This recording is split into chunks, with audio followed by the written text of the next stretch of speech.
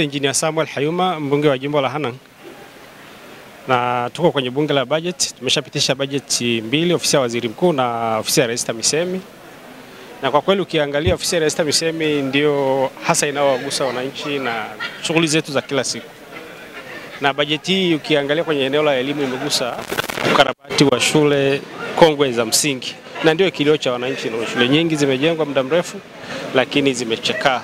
Kwa hiyo kwa serikali kufikiria kwamba hizo shule sasa zikarabatiwe, tunaona miundombinu ya elimu inaenda kuwa kuwa bora, na miundombinu ikiwa bora, maana yake ni kwamba watoto watasoma kwa utulivu. Ile kisaikolojia tunawajenga kwamba wapo sehemu nzuri, na wao wanakuwa wanaamini kwamba maisha yao baadaye pia nayo yatakuwa mazuri, lakini na walimu wanaofanya kazi watafanya kazi kwa morali. Lakini ukiangalia kwenye upande wa afya, mkazo umewekwa kwenye kuweka vifaa tiba kwenye vituo vya afya ambavyo vimekamilika. Mimi kwangu kule kuna vituo viwili ambavyo vimeshakamilika, lakini kuna viwili vingine ambavyo vinajengwa.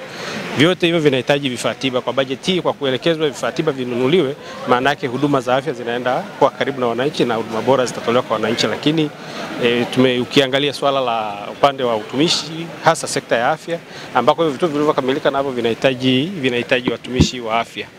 Uh, tulipata mwaka jana kituo cha afya Hirbadau watumishi wa kutosha, lakini na vituo vitatu hivyo ambavyo vinaendelea kujengwa na ambavyo imeshakamilika.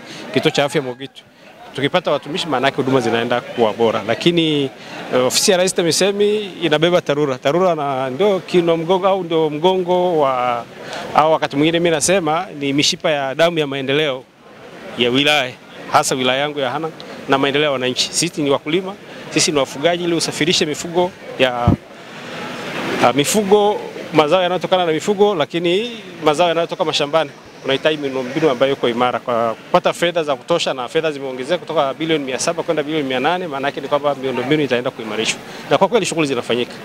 Pongeza sana Mheshimiwa Samia Suluhu Hassan, rais wetu wa Jamhuri ya Muungano wa Tanzania, kwa jinsi alivyoiangalia eh, TARURA, kwa sababu bila TARURA kwa kweli tusingeweza kufanya shughuli kwa umakini na miundombinu ingekuwa tatizo kubwa sana kwa maendeleo ya wananchi wetu.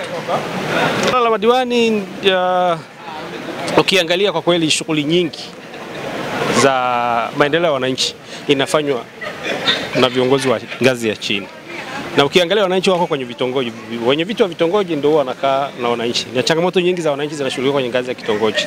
Ukienda ukitoka hapo unakutana na wenye vitu wa vijiji, na baada ya hapo madiwani ambao wanatusaidia kazi zetu za kila siku ukiwa na jambo lolote wilayani utaongea na diwani akusaidie kwenye sehemu husika au kwenye kata inayohusika.